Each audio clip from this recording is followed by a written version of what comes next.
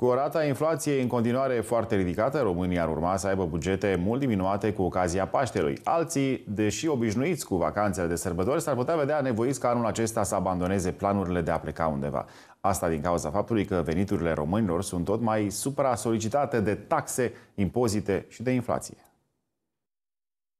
E o tradiție la români ca sărbătoarea să fie însoțită de o masă îmbelșugată. Ei, toate astea ajută într-adevăr la, la creșterea consumului, care în ultima vreme, din păcate, și asta era un semnal de alarmă pe care îl trăgeam acum uh, trei zile într-un studiu pe care l-am lansat, uh, consumul principal, motor al economiei, pune frân în ultimele luni, adică oamenii, din păcate, uh, secătuiți de, de această inflație, financiar vorbind, nu prea mai au cu ce să cumpere din magazine. Specialiștii preconizează faptul că sărbătorile pascale din acest an vor fi unele de buget, mai ales că România este țara cu cea mai ridicată inflație din UE pentru a doua lună consecutiv. În ceea ce privește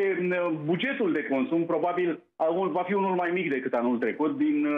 cauza provocărilor generate de cea mai mare inflație din, din Europa pe care o avem în România. Adică veniturile oamenilor sunt, sunt, sunt reduse, Uh, de, de, de această inflație, oamenii simt cu toții, chiar și noi când mergem la hipermarket, simțim că în fiecare lună dăm din ce în ce mai mulți bani pentru coștul obișnuit de consum. Probabil vor fi niște sărbători la promoție, ca să zic așa, din punct de vedere al consumului, pentru că toate marile rețele de hipermarketuri vor veni cu promoții speciale de sărbători, în așa fel încât să atragă cât mai mulți clienți în această perioadă a sărbătorilor. Uh, legat de, de partea financiară, probabil cei mai mulți dintre români își vor petrece sărbătorile acasă din vari motive, în principal de ordin financiar,